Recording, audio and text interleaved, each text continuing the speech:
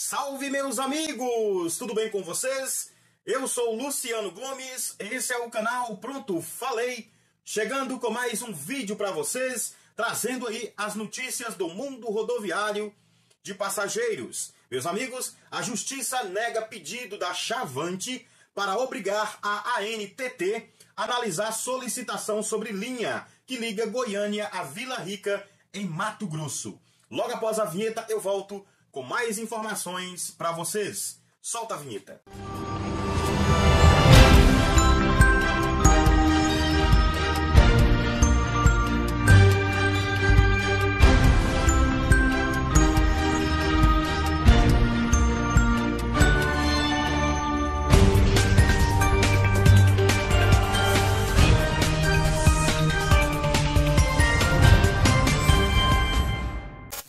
Meus amigos, direto aqui do portal Ônibus e Transporte, o Tribunal Regional Federal da Primeira Região TRF1 negou pedido da aviação Chavante para que a NTT, Agência Nacional de Transportes Terrestres, fosse obrigada a analisar em 30 dias um pedido de autorização a respeito de mercados da linha Goiânia em Goiás, Vila Rica em Mato Grosso. A companhia de ônibus alegou que é papel da diretoria da ANTT deliberar sobre o pedido de concessão da licença operacional.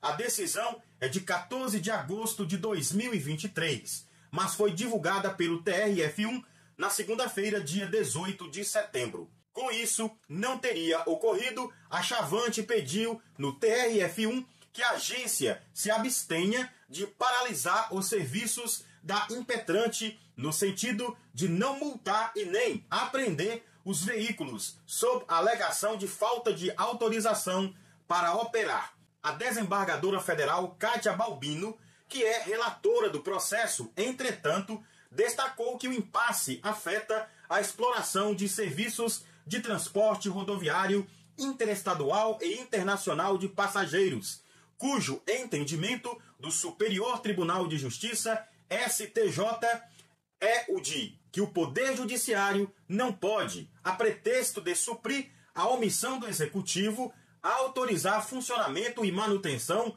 de serviços de transportes sob pena de desorganizar o modelo político da divisão de tarefas pelos poderes, ou seja, a Justiça não pode interferir em assuntos administrativos.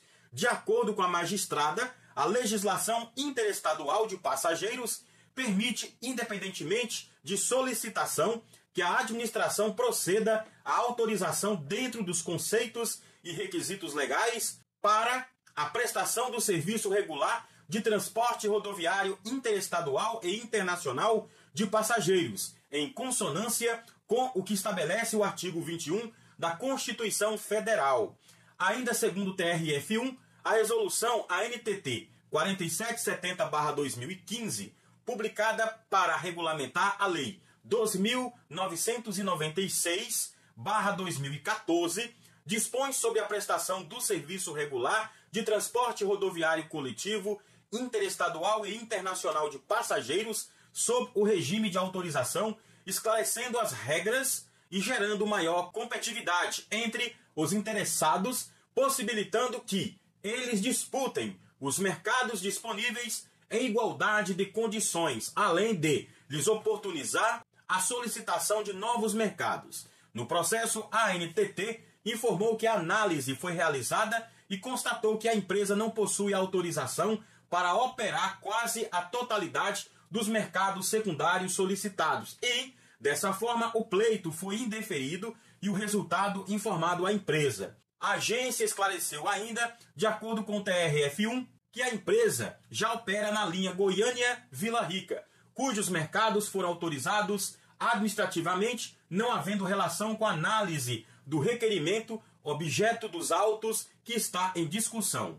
Diante dos fatos, a desembargadora votou no sentido do não provimento do recurso por não identificar atraso na análise do pedido administrativo e entendeu que o requerimento foi devidamente analisado ainda de forma diversa do pretendido pela impetrante.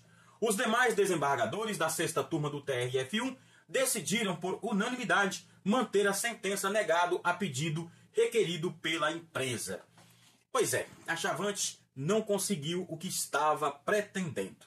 Por hoje é só, meu muito obrigado a todos, muita paz, muita luz. A gente se vê por aqui. Tchau, pessoal!